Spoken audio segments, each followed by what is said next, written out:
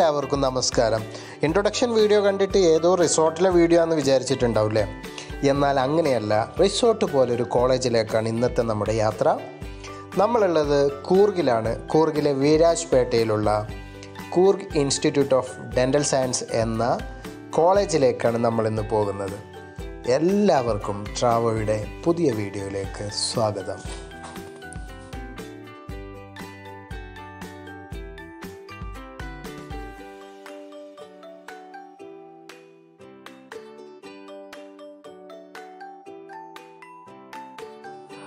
കൂർഗ് ജില്ലയിലെ ഘോണിക്കുപ്പ എന്ന് പറഞ്ഞ സ്ഥലം കഴിഞ്ഞ് വിരാജ്പേട്ടിലേക്ക് പോകുന്ന വഴിയിലാണ് നമ്മളുള്ളത്. നല്ല മഴയാണ്. കൂർഗ് എല്ലാവർക്കും അറിയുന്ന പോലെ ഒരു ടൂറിസ്റ്റ് ഡെസ്റ്റിനേഷനാണ്. അതിന്റെ എല്ലാ മനോഹാരിതയും പ്രകൃതി ഭംഗിയും കോടയും മഴയുമൊക്കെ നിറഞ്ഞ് അതിമനോഹരമായിട്ടുള്ള ഒരു അടിപൊളി യാത്രയിലാണ് ഞങ്ങൾ ഡ്രൈവിംഗ് ആസ്വദിച്ച് അങ്ങനെ പോവുകയാണ്. നമ്മൾ വീരാജ്പേട്ട എത്തിയിരിക്കുകയാണ്. വീരാജ്പേട്ടയിലുള്ള Coorg institute of dental science ആണ് നമ്മുടെ ഇന്നത്തെ ഡെസ്റ്റിനേഷൻ. കൂടെയുള്ളത് ഫൈമിയും മോനും ഒപ്പം എന്റെ ഏട്ടന്റെ മകളായിട്ടുള്ള യദീദയാണ് യതീത അവിടെ ബി ഡി എസിന് ഫൈനൽ ഇയറിന് പഠിക്കുകയാണ്. യദീദയെ അവിടെ ഡ്രോപ്പ് ചെയ്യുക എന്നുള്ളതാണ് ഇന്നത്തെ യാത്രയുടെ ഉദ്ദേശം.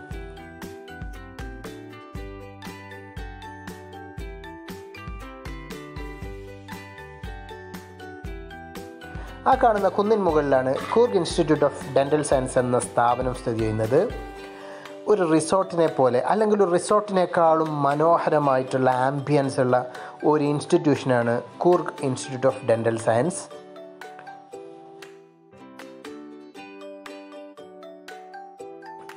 വൈകുന്നേരം നാല് മണിക്കാണ് ഞാൻ ഈ വീഡിയോ ഷൂട്ട് ചെയ്യുന്നത്. ഈ സമയത്ത് ഒരു ആംബിയൻസ് ശ്രദ്ധിച്ചോ?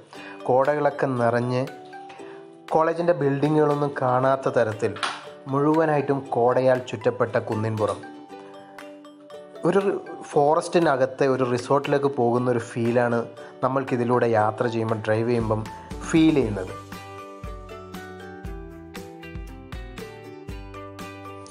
ബി ഡി എസും എം ഡി എസും ആണ് ഇവിടെ അവൈലബിൾ ആയിട്ടുള്ള കോഴ്സുകൾ അക്കാഡമിക് സ്റ്റാൻഡേർഡിൽ ടോപ്പ് കോളേജസ് ലിസ്റ്റിൽ വരുന്ന ഒരു ഇൻസ്റ്റിറ്റ്യൂഷനാണിത്. നല്ല എക്സ്പീരിയൻസ്ഡ് ആയിട്ടുള്ള ഫാക്കൽറ്റീസ് ആണ്. ബോയ്സ് ഹോസ്റ്റൽ ക്യാമ്പസിന് പുറത്തും ഗേൾസ് ഹോസ്റ്റൽ ക്യാമ്പസിനുള്ളിൽ തന്നെയാണ്. ഇവിടെ പാരൻസിനുള്ള വലിയൊരു അഡ്വാന്റേജ് എന്ന് പറയുന്നത് ഹോസ്റ്റൽ മറ്റു പല കോളേജുകളിലും രാവിലെ കോളേജിലേക്ക് കുട്ടികൾ ഇറങ്ങിക്കഴിഞ്ഞാൽ വൈകുന്നേരം ആറു മണിക്കുള്ളിൽ ഹോസ്റ്റലിൽ തിരിച്ചെത്തണം എന്നുള്ള റൂൾസാണ് ഉണ്ടാകുക ഇവിടെ ഇവിടെ അങ്ങനെയല്ല. ഇവിടെ ആഴ്ചയിൽ രണ്ട് ദിവസം മാത്രമാണ് സ്റ്റുഡൻസിന് പുറത്തു പോകാൻ അലൗഡ് ഔട്ടിങ് ഔട്ടിംഗ് എന്ന് പറയുന്നത് ആഴ്ചയിൽ രണ്ട് ദിവസമാണ്. അതും നാല് മണി മുതൽ ആറ് മണി വരെയുള്ള രണ്ട് അവേഴ്സ് മാത്രമാണ് ആഴ്ചയിൽ ടു ഡേയ്സ് പിന്നെ സ്റ്റുഡൻസിന് പുറത്ത് ഔട്ടിങ്ങിന് പെർമിഷൻ ഉള്ളത്.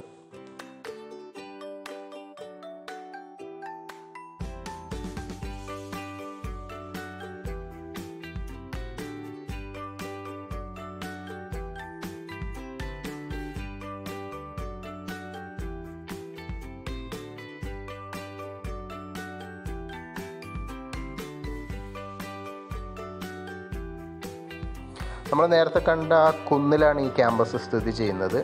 ആ പ്രകൃതിയുടെ അവസ്ഥയെ അതുപോലെ നിലർ നിലനിർത്തിക്കൊണ്ട് തട്ട് തട്ടുകളായിട്ടുള്ള ആ കുന്നിൻ ചെരുവുകളിൽ അക്കാഡമിക് ബ്ലോക്കുകളും ഹോസ്റ്റൽ ബ്ലോക്കുകളും അതുപോലെ ഹോസ്പിറ്റൽ ബ്ലോക്കുകളൊക്കെ പണിതുകൊണ്ട് ആ പ്രകൃതിയെ നിലനിർത്തിക്കൊണ്ട് വളരെ മനോഹരമായിട്ടാണ് ഈ ക്യാമ്പസ് സജ്ജീകരിച്ചിട്ടുള്ളത്.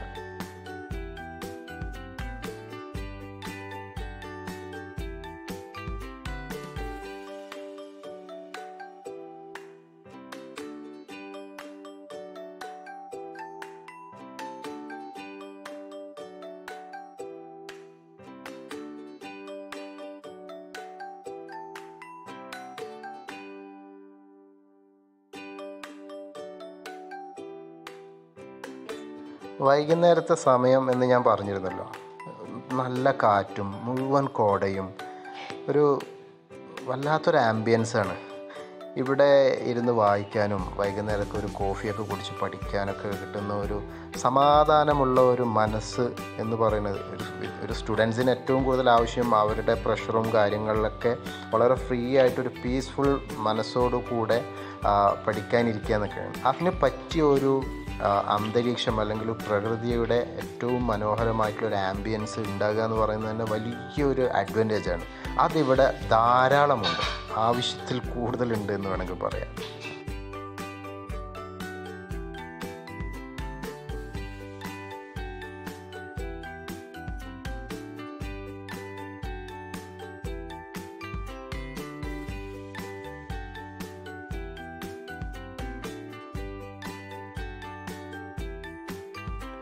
ഇതൊരു കഫേയാണ് ഒപ്പം ഒരു വ്യൂ പോയിന്റ് കൂടിയാണ്. വിരാജ്പേട്ടയുടെ ദൃശ്യഭംഗി മുഴുവനായിട്ടും കാണുന്ന രീതിയിൽ അടിപൊളി ഒരു വ്യൂ പോയിന്റ് ഇവിടെ ഉണ്ട് ആ ക്ലാസ്സൊക്കെ കഴിഞ്ഞ് വന്ന് ഇവിടുന്ന് ഒരു കോഫിയും മേടിച്ച് ഈ ഒരു വ്യൂ പോയിന്റിൽ ഇരുന്ന് വിരാജ്പേട്ടയുടെ കൂർഗിന്റെ മനോഹാരിത ആസ്വദിച്ച് ഇങ്ങനെ കോഫി കുടിക്കുന്ന ഒരു സീനൊക്കെ ഒന്ന് ആലോചിച്ച് നോക്കിയാൽ ആരും മോഹിക്കുന്നൊരു ക്യാമ്പസാണ് ഇത്. ആ ദൂരെ കാണുന്നത് നെൽപ്പാടങ്ങളാണ്. കോട നിറഞ്ഞതുകൊണ്ട് നമുക്ക് കൃത്യമായിട്ട് കാണുന്നില്ല. വളരെ വിശാലമായിട്ടുള്ളൊരു നെൽപ്പാടമാണ് താഴെ കാണുന്നത്. ഒപ്പം വിരാജ്പേട്ട ടൗണിന്റെ ഭാഗങ്ങളുമാണ് മറ്റ് റൈറ്റ് സൈഡ് ഭാഗത്തായിട്ട് കാണുന്നത്. മറ്റൊരു അട്രാക്ഷനാണ് ആ കാണുന്ന ക്യാന്റീനാണത് ക്യാന്റീനും ഇതുപോലുള്ള ഒരു ഒരു അടിപൊളി ലൊക്കേഷനിലാണ് ഭക്ഷണം കഴിക്കുമ്പോഴും ഇതേ ഒരു ആംബിയൻസിലിരുന്ന് ഭക്ഷണം കഴിക്കാൻ കഴിയും എന്നുള്ളതാണ് ക്യാന്റീന്റെ ഒരു ഏറ്റവും വലിയ അട്രാക്ഷൻ ഈ ഒരു വ്യൂ പോയിന്റിൽ നിന്ന് രാവിലെ ഉണ്ടാകുന്ന ഒരു വ്യൂ എന്തായിരിക്കും എന്നുള്ളത് നമുക്ക് ഊഹിച്ചു നോക്കാവുന്നുള്ളൂ വൈകുന്നേരം ഇതാണെങ്കിൽ അതിന്റെ ഒരു വീഡിയോ കൂടെ നമുക്കൊന്ന് കാണാം.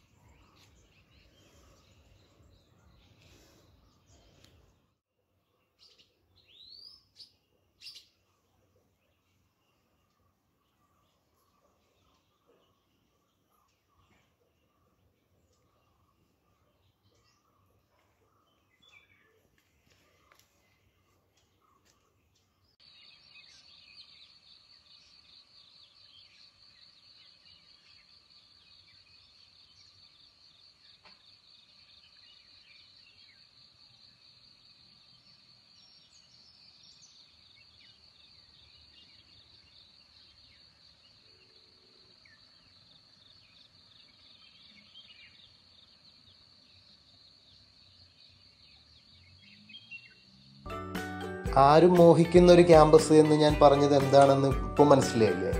നമ്മുടെ ഹോസ്റ്റൽ മുറികളിൽ നിന്ന് രാവിലെ എഴുന്നേറ്റ് പുറത്തേക്ക് നോക്കുമ്പോൾ കിട്ടുന്ന ഒരു ആംബിയൻസ് ആണ് ഞാൻ കാണിച്ചത്. ഏതൊരാളുടെ ഒരു ദിവസത്തെ ഏറ്റവും പ്ലസൻഫുൾ ആക്കുന്ന ഒരു പ്രത്യേക ഫീൽ നമുക്ക് പ്രകൃതി നൽകുന്നുണ്ട്.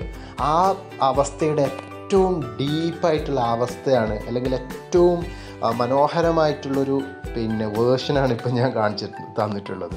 അപ്പോൾ ഇത്രയും നന്നായിട്ട് പ്രകൃതിയുമായി ഇണങ്ങി പ്രകൃതിയുമായി ജീവിക്കാൻ കഴിയുന്ന ഒരു ക്യാമ്പസ് എന്റെ അനുഭവത്തിൽ മറ്റൊന്നില്ല എന്ന് തന്നെ പറയാം. ഏറ്റവും മുകളിലായിട്ടാണ് ഹോസ്റ്റലുകൾ സ്ഥിതി ചെയ്യുന്നത്. അവിടുത്തെ ഭക്ഷണം എന്ന് പറയുന്നത് മറ്റൊരു അഡ്വാന്റേജ് അവിടുത്തെ സ്റ്റുഡന്റിന് മെനു ചൂസ് ചെയ്യാമെന്നുള്ളതാണ് ഓരോ മാസത്തെ മെനുവും ഓരോ ബാച്ചിലെ സ്റ്റുഡന്റാണ് പിന്നെ പ്ലാൻ ചെയ്യുന്നതും ഫിക്സ് ചെയ്യുന്നതും. അപ്പോൾ നമുക്ക് താല്പര്യമുള്ള ഇഷ്ടമുള്ള ഭക്ഷണം നമുക്ക് നമ്മുടെ മെനു ആയിട്ട് സ്വീകരിക്കാം എന്നുള്ളത് വലിയ അഡ്വാന്റേജ് ആണ്. കാരണം പല കോളേജുകളുടെയും ഹോസ്റ്റലുകളിൽ ആ ഒരു ഇത് താല്പര്യത്തോടു കൂടെ നമ്മളെ ഇഷ്ടത്തിനനുസരിച്ച് ഭക്ഷണ മെനു സജ്ജീകരിക്കാനോ ക്രമീകരിക്കാനോ നമുക്ക് അവകാശമില്ല. അവർ തരുന്ന ഭക്ഷണം കഴിക്കുക എന്നുള്ളത് മാത്രമാണ് പലപ്പോഴും കണ്ടിട്ടുള്ളത്. ഇവിടെ പക്ഷേ ഓരോരോ മാസവും ഓരോ ബാച്ചിലർ സ്റ്റുഡൻസ് ആണ് ആ മാസത്തെ ഭക്ഷണ മെനു തീരുമാനിക്കുന്നതും പ്ലാൻ ചെയ്യുന്നത്. അങ്ങനെയൊക്കെ ആണെങ്കിലും വീട്ടിൽ നിന്ന് കഴിക്കുന്ന ഭക്ഷണവുമായിട്ട് ഒരു കാരണവശാലും കമ്പയർ ചെയ്യാൻ കഴിയില്ല. മെനുവും കാര്യങ്ങളൊക്കെ നമ്മൾ തന്നെയാണ് തീരുമാനിക്കുന്നതെങ്കിൽ കൂടിയും ആ നാട്ടിന്റെ ഒരു കൾച്ചറും ഭക്ഷണ രീതിയൊക്കെ സ്വാഭാവികമായിട്ടുണ്ടാവും. അപ്പം ഒരു വിദ്യാർത്ഥി എന്നുള്ള രീതിയിൽ നമ്മൾ ആദ്യം ചെയ്യേണ്ടുന്നത് നമ്മൾ വീട് വിട്ട് മറ്റൊരു സ്ഥലത്ത് താമസിക്കുമ്പോൾ അവിടുത്തെ കൾച്ചറും ഭക്ഷണ രീതിയുമായിട്ടൊക്കെ അഡ്ജസ്റ്റ് ആകുക എന്നുള്ളതാണ്. ഞങ്ങളങ്ങനെ യതീതയുടെ ലഗേജും കാര്യങ്ങളൊക്കെ റൂമിലേക്ക് ഷിഫ്റ്റ് ചെയ്തു. ഒരുപാട് നാളത്തെ ഓൺ ഓൺലൈൻ ക്ലാസ്സിന് ശേഷം ഓഫ്ലൈൻ ക്ലാസ് ആരംഭിക്കുന്നതിന് വേണ്ടിയിട്ട് തിരിച്ചു വന്നതാണ്.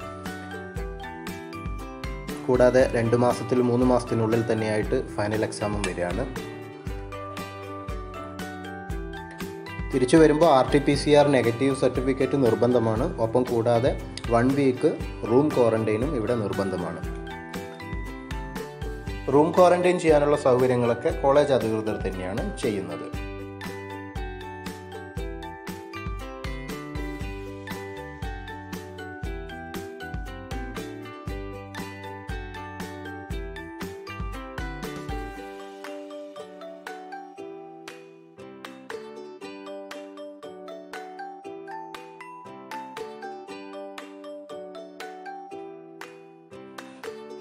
ഈ കാണുന്ന മുഴുവൻ ബ്ലോക്കുകളും ഗേൾസ് ഹോസ്റ്റൽ ബ്ലോക്കുകളാണ്. നമ്മൾ ലഗേജുകളൊക്കെ അങ്ങനെ യതീതയുടെ റൂമിൽ കൊണ്ടുപോയി വെച്ചു. ഒരാഴ്ച യതീതയ്ക്ക് ഇനി റൂം ക്വാറന്റൈനാണ്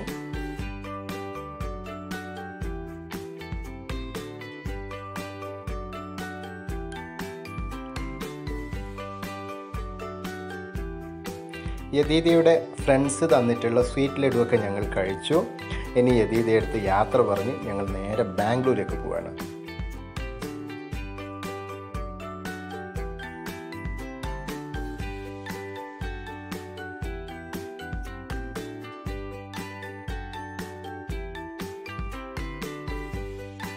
ഒരു റിസോർട്ടിലൊക്കെ വന്നതുപോലെ തന്നെയുള്ള ഒരു അവസ്ഥയാണ് ഇവിടെ വിസിറ്റ് ചെയ്യുമ്പോൾ നമുക്ക് ഫീൽ ചെയ്യുന്നത്. വന്നാൽ തിരിച്ചു പോകണം എന്ന് തോന്നാത്ത രീതിയിൽ നല്ല തണുത്ത കാറ്റും അതുപോലെ കോടയും വ്യൂവും കാര്യങ്ങളൊക്കെ ആയിട്ടൊരു ഒരു നല്ലൊരു ആംബിയൻസ് ഭയങ്കര റിലാക്സ്ഡ് ആയിട്ടുള്ള ഒരു അവസ്ഥ നമുക്ക് തരുന്നുണ്ട്. അത് തന്നെയാണ് ഈ ഒരു ക്യാമ്പസിന്റെ ഏറ്റവും വലിയ പ്രത്യേകത എന്ന് തന്നെയാണ് ഞാൻ കരുതുന്നത്.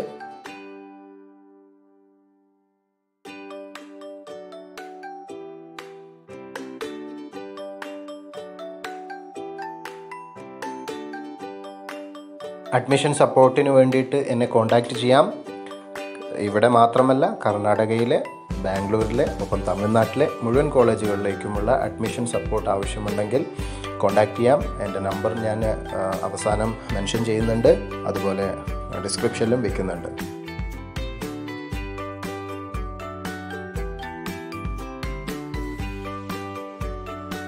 ഞങ്ങൾ അങ്ങനെ ഒരു ചായ കുടിക്കാൻ വേണ്ടി നല്ല ചൂട് ചായയും നമ്മുടെ നാടൻ ഉള്ളിവടയും. അപ്പോൾ നമ്മൾ ചായയൊക്കെ കുടിച്ചതിന് നേരെ ബാംഗ്ലൂരേക്കാണ്. പുതിയ വീഡിയോയുമായിട്ട് വീണ്ടും കാണാം. ഇഷ്ടപ്പെട്ട ലൈക്ക് ചെയ്യുക. സബ്സ്ക്രൈബ് ചെയ്യാതെ വീഡിയോ കാണുന്നവർ സബ്സ്ക്രൈബ് ചെയ്ത് സപ്പോർട്ട് ചെയ്യുക. പുതിയ വിശേഷങ്ങളും കോളേജിന്റെ വിശേഷങ്ങളും ഒക്കെയായിട്ട് വീണ്ടും കാണുന്നവരേക്കും എല്ലാവർക്കും നന്ദി നമസ്കാരം.